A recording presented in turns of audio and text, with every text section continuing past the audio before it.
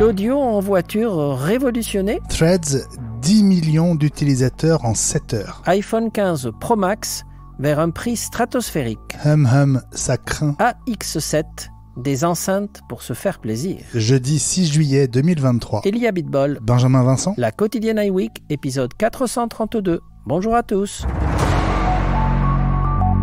Apple prépare-t-elle une révolution de l'audio dans nos voitures? Je n'ose plus parler d'Apple Car. Ce qui est sûr, Ellie, c'est que c'est l'impression que donnent ces cinq nouveaux brevets déposés par Apple. Écoute, oui, et ils sont très étonnants. Alors bien sûr, c'est pour dans des, voitures dans 2-3 ans minimum, hein, comme tous les brevets proposés par Apple. Alors, il y a quand même des choses un peu étonnantes. Alors la première chose, c'est que l'environnement est basé sur les sièges et en fait, les enceintes s'adaptent par rapport à la position de la tête du conducteur sur euh, le siège de la voiture, sur le repose-tête de la voiture. Alors, par quel capteur qu'ils arrivent à placer quand même là-dedans, ils déterminent la position de la tête et en temps réel, ils orientent la musique parce que ils expliquent que si vous avez penché votre tête, par exemple, pour prendre un ticket de parking, euh, ils ne veulent pas que vous ratiez votre podcast préféré ou, une sonate. Donc, euh, ils vont à ce niveau-là de détail, c'est absolument incroyable. Euh, autre chose, les portes de la voiture, parce qu'ils disent, si jamais vous ouvrez la portière de votre voiture, d'abord, au début, le son va se déporter un peu parce que vous n'êtes pas encore sorti mais ils vont détecter que vous êtes sorti de la voiture et un peu euh, à la mode hand-off, lorsque vous arrivez, que vous êtes en train d'écouter une musique sur votre téléphone, vous rentrez dans la voiture et la musique passe automatiquement sur CarPlay, ben là, ça serait l'inverse, c'est-à-dire que vous récupérez le son ou la conversation téléphonique que vous aviez dans la voiture directement sur le téléphone. Et, dernière chose, parce qu'il y a une dernière chose quand même, c'est qu'il s'il y a plusieurs personnes dans la voiture, parce que ça le détecte aussi, il y a une sorte de SharePlay où chaque personne dans chacun de ces sièges aurait une personnalisation de l'audio et une impression immersive dans chacun des sièges. De dire que là, on va loin dans le détail. Hein Donc, euh, et ça va, à mon avis, coûter un bras et demi. C'est marrant parce que cette dernière fonction que tu évoques, euh, elle fait partie des caractéristiques de la voiture présentée à Vivatech par euh, euh, la Software République qui regroupe notamment Renault, Orange, Dassault Systèmes et, et, trois autres géants français de l'industrie qui ont travaillé ensemble sur un concept car. Eh ben, si Apple avait déposé le brevet avant, ils vont peut-être le faire, mais il faudra payer. Le lancement de Threads aux États-Unis et au Royaume-Uni ce jeudi depuis une dizaine d'heures et plus d'un million d'inscrits par heure depuis l'ouverture. Alors Ellie, tu fais partie de ceux qui ont osé. Euh, Est-ce que tu savais que tu ne pourrais supprimer ton compte Threads sans renoncer aussi à ton compte Instagram? Moi, je viens de le découvrir sans être inscrit au nouveau concurrent de Twitter. Mais écoute, Franchement, je ne le savais pas. Je vais te dire, je l'ai installé, euh, comme j'avais dit euh, dans une de nos discussions internes, euh, pour être un peu le cobaye et le, bêta-testeur de, de, cette appli et pouvoir en parler entre nous lors d'une émission comme aujourd'hui, ou voir plus en détail lors de la semaine Apple. Alors déjà, la première chose, quand je l'ai lancé, le logiciel était en français. Ensuite, il m'a dit, êtes-vous d'accord avec les conditions d'utilisation supplémentaires euh, d'Instagram. Mais comme c'est Instagram qui fait Threads, moi je dis conditions d'utilisation supplémentaires, honnêtement, je ne les ai pas lus, ce qui est une erreur. Mais en même temps, si on lisait chaque condition d'utilisateur, même chez Apple, bon, on n'est pas sorti de l'auberge. Hein. Donc, euh, du coup, j'ai et, à aucun moment il m'a dit attention, vous ne pourrez pas supprimer, euh, etc. Donc, il a importé mes contacts. Il m'a demandé si je voulais un profil public, c'est-à-dire que n'importe qui peut me suivre et m'ajouter, euh, ou si je voulais un profil privé, c'est-à-dire que je dois donner mon accord quand quelqu'un veut me suivre. J'ai dit, moi, je veux un profil privé. Et donc avec ça, ben ça a démarré. Et donc euh, les, les, premiers threads, parce que pour l'instant c'est un environnement qui est un peu en démarrage, hein, euh, bah, c'est des threads de Mark Zuckerberg en personne qui euh, toutes les heures poste le nombre de, personnes inscrites. Donc euh, le chiffre que tu as donné, effectivement, il l'a il posté, il l'a posté. Donc euh, c'est bien ça, ça a l'air assez populaire. Maintenant, on en parlera plus en détail, mais les premières impressions bah, ça ressemble à un logiciel de, de messagerie habituel. Hein. Je veux dire, c'est Twitter. Les icônes ressemblent à Twitter. Euh, le petit avion pour les, les tweets, le petit cœur qu'on coche, euh, le retweet. Enfin bon, je veux dire, j'ai il a pas trop, j'ai pas trouvé une icône euh, nouvelle que je ne connaissais pas. On retrouve euh, les hashtags, on retrouve les, les, les, mentions des comptes avec un arrobase ou, ou c'est un autre système? Non, euh, il n'y a pas de hashtag. Il y a des comptes qui apparaissent, mais je ah si, il y a la notion de vérifier. Je suppose parce que je vois des coches bleues dans certains comptes.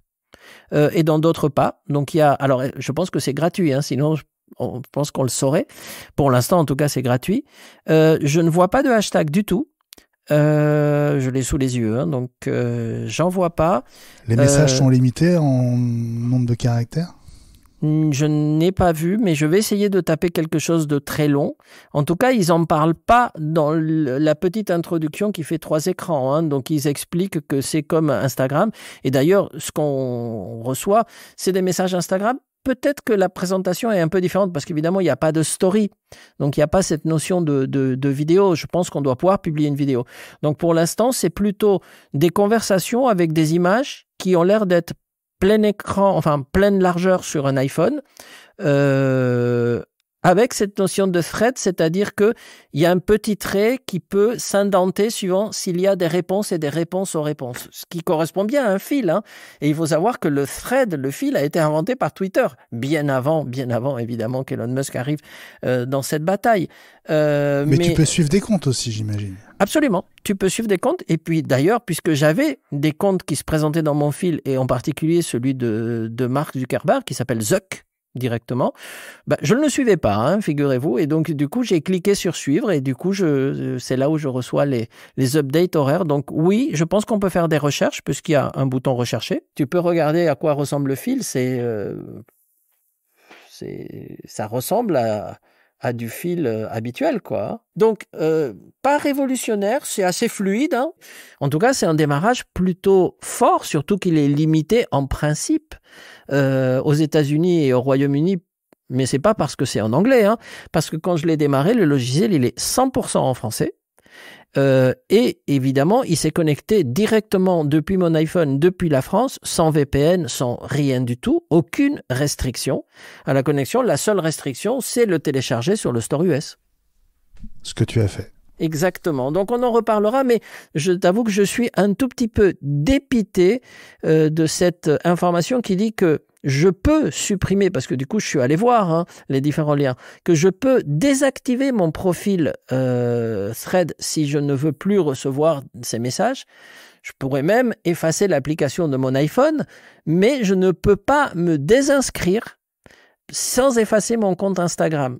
Je peux le désactiver, mais pas le supprimer. Je ne comprends pas pourquoi. À mon avis, il va y avoir des gens qui vont râler. Non, mais sur le principe, c'est complètement. Euh, ah, sur le principe, j'étais quand j'ai vu ça, c'était d'abord un une énorme surprise.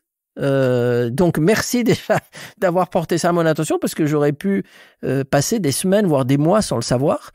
Et ensuite j'étais un tout petit peu choqué. Moi pour l'instant il y a peu de choses qui me choquent sur Internet, mais là je me suis dit quand même qu'ils vont un peu loin. D'abord parce que je vais aller lire en détail les conditions d'utilisation, mais euh, il est clair que ce que j'ai lu dans les différentes reviews, c'est que ils aspirent toutes les données, mais vraiment toutes les données.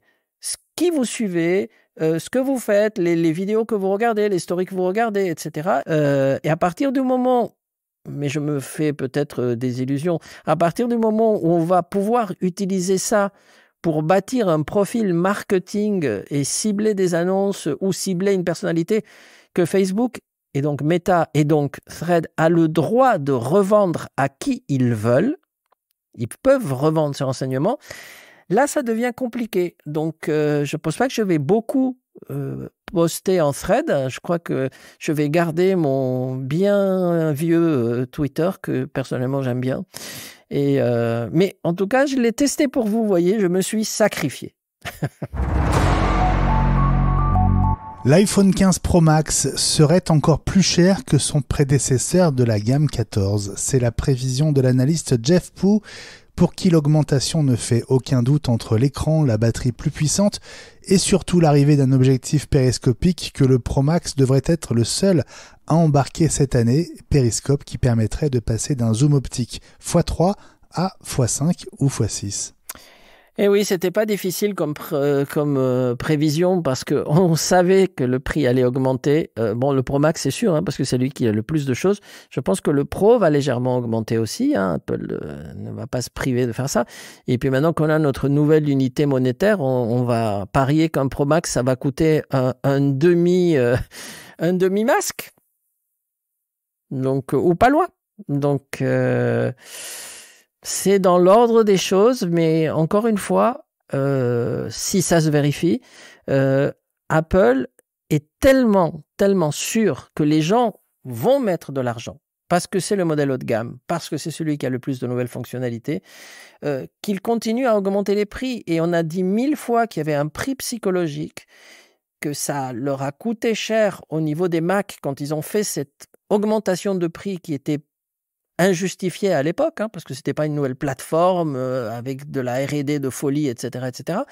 Euh, et sur l'iPhone, à un moment donné, on va voir toutes les caractéristiques du 15. Moi, j'ai dit et redit que ça sera un succès. Je le crois encore. Mais on s'est basé que sur les caractéristiques techniques. Un succès au-delà de 2000 euros, par exemple, pour, pour un modèle haut de gamme, euh, qu'Apple avait, enfin, qu'Apple, que euh, certains fuites avaient appelé Ultra, là on, revient à Max, mais peut-être un modèle Ultra qui serait le top du top du top, euh, ben, au-delà de 2000 euros, on va commencer à limiter les, les gens qui, qui vont l'acheter. Hein, parce que il y a toujours ce prix psychologique d'accès à la téléphonie à 1000 euros, certes pas pour un modèle super haut de gamme, mais au-delà de 1000 euros, les gens commencent à réfléchir. Hein, et surtout par euh, les, les, temps actuels, euh, les gens regardent de près hein, leurs dépenses aujourd'hui. Donc, euh, il ne faut pas qu'Apple joue trop avec le feu des prix parce qu'à un moment donné, à force d'être cher, les ventes vont chuter.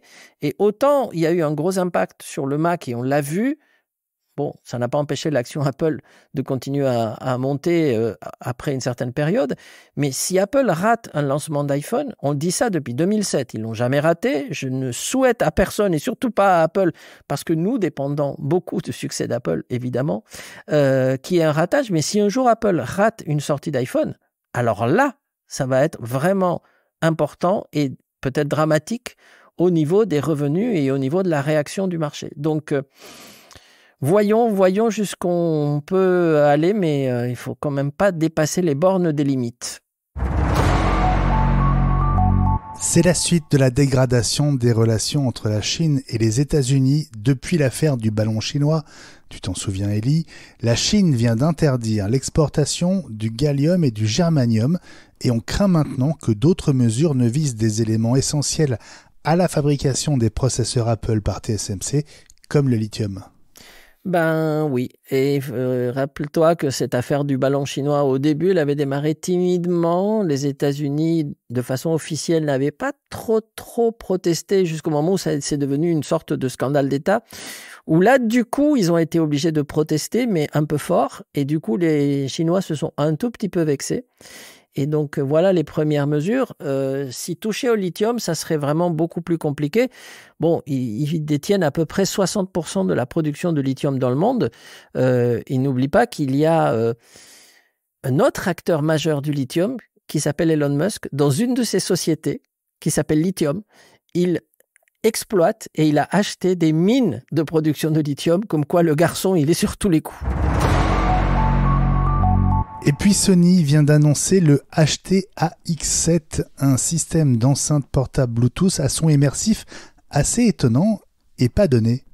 Bah oui, oui, oui, oui, oui. Alors déjà, il est très beau, euh, il est portable. Il y a trois enceintes, donc une sorte de mini caisson de basse euh, avec en même temps les enceintes avant et deux sortes de, comment est-ce qu'on définirait ça? Euh, deux sortes de palais. En fait, c'est des petites enceintes rondes assez plates euh, qu'on place n'importe où dans la pièce, mais absolument n'importe où, parce qu'en plus tout ça est sans fil, tout ça est, sur batterie, c'est ça qui est incroyable. Euh, et avec ça, il utilise le même système que le HTA9 dont on a déjà parlé, qui est le système que j'utilise moi, euh, qui par contre est à plus de trois fois ce prix. Hein. Donc quand on dit cher, oui, là il est au tiers du prix, mais il ne fait pas exactement la même chose parce que là, on reçoit en fait à partir d'un appareil Bluetooth. La connexion se fait euh, après entre les enceintes, mais ils n'ont pas prévu dedans, par exemple, une entrée HDMI euh, pour pouvoir connecter une source euh, audio, vidéo, etc. C'est vraiment quelque chose de portable. C'est fait à partir de bouteilles recyclées, donc c'est très une seule couleur. C'est très dans la vague à l'heure actuelle du, du, recyclage. Euh, apparemment, le son immersif est, assez spectaculaire, je pense comme dans un HTA9, puisque les testeurs parlent de balles qui, euh, rebondissent ou de, bruits euh, qui, peuvent survoler la personne qui écoute, etc. Donc tout ça, je trouve ça parfait. La seule chose qu'il faudra tester, euh, c'est que donne la qualité du son, étant donné que là, il ne parle que de Bluetooth, c'est-à-dire qu'on va retomber dans les problèmes d'Apple. Euh, quelle qualité de son est-on capable d'envoyer aujourd'hui avec un codec Bluetooth? Pas du lossless en tout cas, hein. à moins que Sony qui travaillait sur un pseudo codec euh, lossless ait fait quelque chose, mais euh, donc il n'y a pas de port physique hein, pour faire quelque chose de portable et je suppose d'utilisable en extérieur, c'est-à-dire que pas d'entrée HDMI, pas d'entrée optique, pas d'entrée jack. Hein. Donc la seule façon d'envoyer du son à ces enceintes, c'est d'avoir un appareil qui fasse du Bluetooth. Bon, Très bien, parfait. Euh, donc euh, les prix sont aux environs de 550 euros.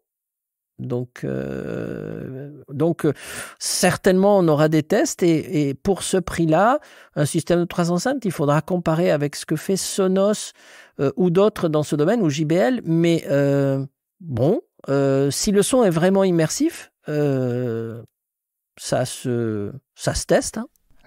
Et la sortie est, d'abord prévue au Royaume-Uni avant les US. On n'a pas encore entendu parler du reste de l'Europe. On en, on en reparlera. La quotidienne iWeek revient demain.